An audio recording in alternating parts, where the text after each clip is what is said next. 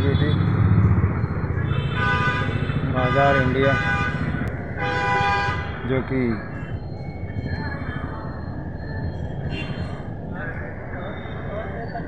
सुभाष चौराहे से ठीक सामने नवाब यूसुफ रोड की तरफ़ जाके है।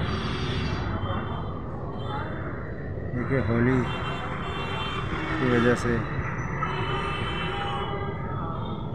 जो रंग बचपन लौटाए वो रंग अच्छे हैं। ये कहते हुए उसने